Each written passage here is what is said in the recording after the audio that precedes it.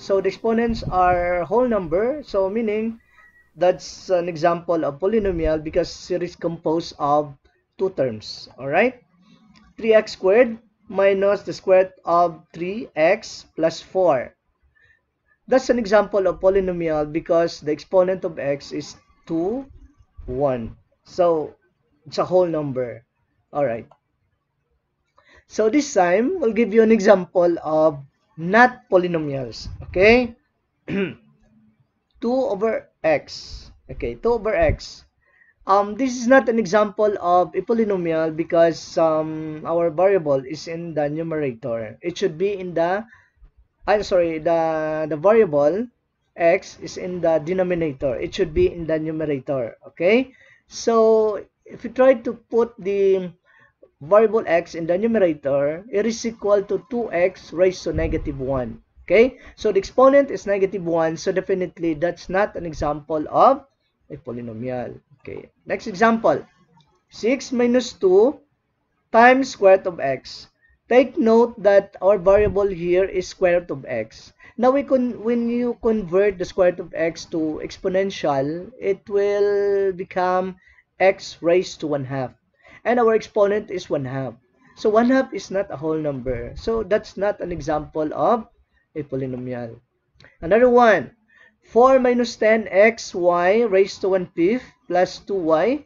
Alright. So, this is not an example of a polynomial because in one term, the exponent of variable y is 1 fifth and 1 fifth is a fraction. When you speak of fraction, it's not a whole number. So, that's not an example of a polynomial. Alright, another one. 6x y raised to negative 2. The exponent is negative 2. A negative 2 is not a whole number. So definitely, uh, 6xy raised to negative 2 is not an example of polynomials. Alright, another one. 2 to the square root of x minus 2. Alright.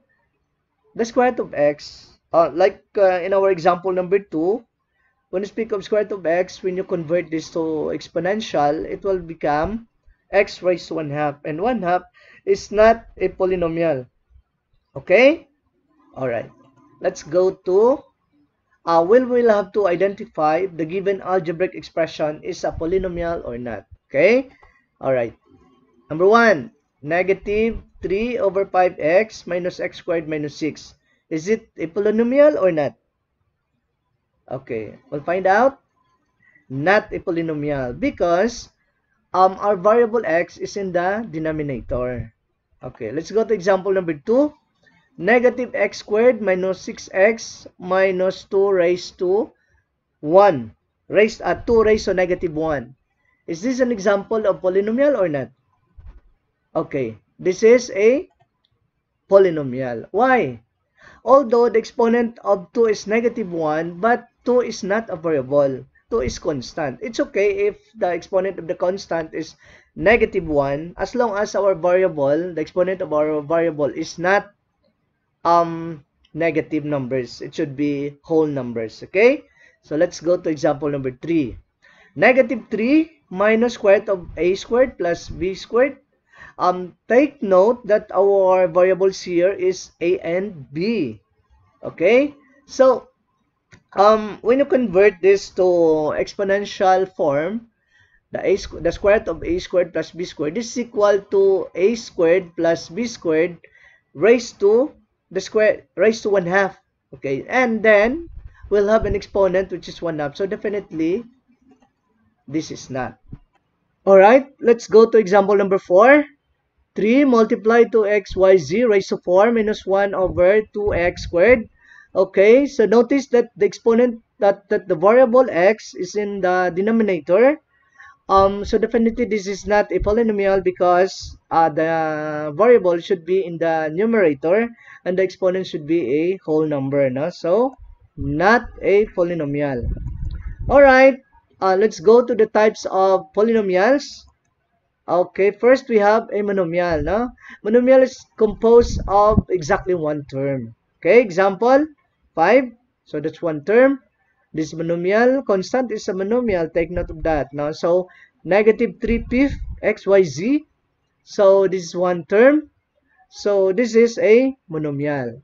Second, um, I, this is third example, a squared bc raised to 0. Take note class that um, any number raised to 0 is equal to 1. And 1 is our multiplicative identity. So whatever numbers you multiply to 1, the result is the number. No? So definitely this a squared bc and it is composed of one term. So this is a monomial. Okay, let's go to binomial. Exactly two terms. Okay, example, 2px minus 2xy squared. So 1, 2, two terms. So meaning this is an example of a binomial. Now next, negative x raised to 100 plus uh, y squared. 1, 2. So two terms. So that's binomial. Next is trinomial. Trinomial is a polynomial with exactly three terms. Okay, example, x squared minus 6 minus 2 times x, uh, sorry, 2, the square root of 2y. So 1, 2, 3, 3 terms, so that's trinomial. Okay, let's go to the degree of a term. Okay, the degree of a term with one variable is the exponent of that variable. Now, let's say for example, 9x raised to 6. No? Um, our variable here is 6 uh, sorry, our variable is x and exponent is 6. So, 6 will be the degree of this um, polynomial. No? Next, the degree of a term with more than one variable is the sum of the exponents of all the variables. Now, example, uh, 2a squared b to the fifth c cubed. Notice that there are three variables here. A, B, C. So all you have to do is to add all the exponents. 3 plus 5 plus 2, that's 10. So meaning the degree of this polynomial is 10. Alright. Let's go to the degree of a polynomial. The degree of a polynomial is the degree of the term with the highest degree. So meaning to say, we're going to check the degree of each term and uh, get the highest uh, uh, degree in which particular term. All right, let's say for examples, 2xyz, this is a this one term, so definitely we're going to add the exponent. Now 1, 1 plus 1 plus 1 plus 1, so that's 3. So the degree of this polynomial is 3. Second, 4xy cubed minus 6x squared y minus 1 half. So this is a trinomial. Now we're going to check, we're going to get the um, exponent, or I'm sorry, the degree of the first term. So 1 plus 4, 3, 4. Second term, the degree is 3. Third term, 0. So definitely, the degree of this polynomial is 4. Next, negative 10x plus 2y. First term is 1. Second term is 1. So definitely, the degree of this polynomial is 1. Alright. Um, this is an example of a trinomial. Now, 3x squared minus the square root of 3x plus 4. So, the degree of the first term is 2, second term, 1. Third term, 0. So, the degree of this polynomial is... Let's go to identifying the degree of each term and the degree of the polynomial. Okay, we have a table, polynomial, the degree of each term, and the degree of the polynomial. So, first we have negative 4x squared y to the fifth 0 is to 0. This is an example of monomial. So what's the degree of the term? So we're going to add the exponents of the variables. That's 7. What's the degree of the polynomial? 7. Okay, let's go to the second one. The square root of 10, x squared minus um, y to the fifth plus 2x cubed so this is an example of a trinomial, no? composed of three terms. So the degree of the first term is 2, second term is 5, the third term is 3. So we have 2, 5, 3. So what's the degree of a polynomial? Definitely the degree of the polynomial is 5. Alright, let's go to the next. a squared plus b squared raised to 2 so take note that a squared plus b squared is the base and our exponent is 2. And the exponent will tell us how many times we are going to multiply the base. So a squared plus b squared raised to 2 is equal to a squared plus b squared times a squared plus b squared. So the product is a to the fourth plus 2a squared b squared plus a to the fourth. So this is a trinomial. Um, degree of the first term is 4. Degree of the second term is 4. The degree of the third term is 4, so we have 4, 4, 4. And the degree of the polynomial is obviously 4. Okay, let's go to the third one, or oh, the fourth one. 2y minus x squared y minus 1 half xyz. This is a trinomial. First term, the degree is 1. Second, the degree is 3. Third, the degree is 3. So that's 1, 3, 3. So what's the degree of the polynomial? 3. Okay. Um, let's go to the kinds of polynomial according to its degree. Na?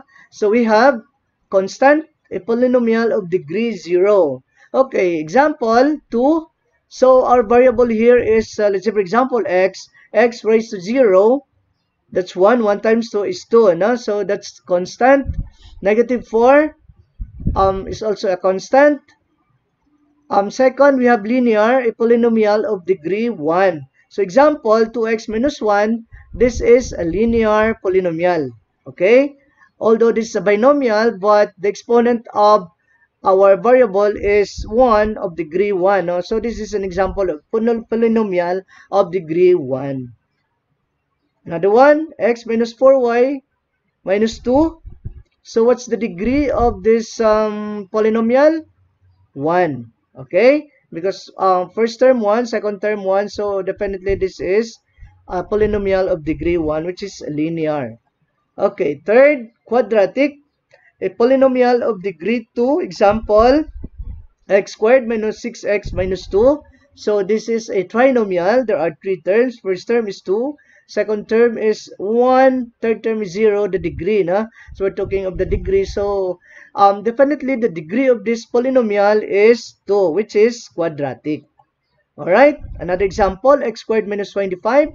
This is a binomial. The degree of this polynomial is 2 and which is a quadratic polynomial. Okay, number 4, cubic. A polynomial of degree 3. Example, x cubed minus 2x squared minus 1. So this is a polynomial of degree 3. Okay, another example, x cubed minus 8. Um, the highest exponent of variable is 3. So this is example of a binomial. At the same time is cubic because the degree is 3. Alright, next quartic. What do you mean by quartic? Quartic, um, it's a polynomial of degree 4. Quintic, it's a polynomial of degree 5. And then we have polynomial of degree. Let's say, for example, um, your polynomial is of degree 500. So, it's very difficult to name what kind of uh, polynomial is that. So, instead, we use the term like polynomial of degree 500.